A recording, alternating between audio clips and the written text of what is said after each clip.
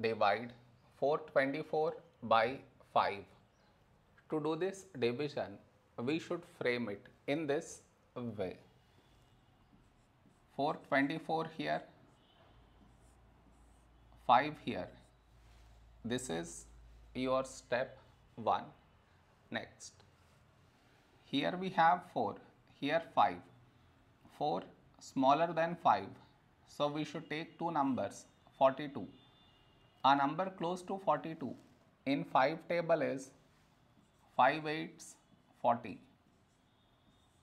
Now we should subtract, we get 2. After this, bring down the beside number, so 4 down, so 24. A number close to 24 in 5 table is 5 fours 20. Now we subtract, we get 4. After this, no more numbers to bring it down. So what we do is we put dot, take 0. So 40. When do we get 40? In 5 table. 5 eights 40. Now we subtract, we get 0. We got remainder 0. So this is our quotient.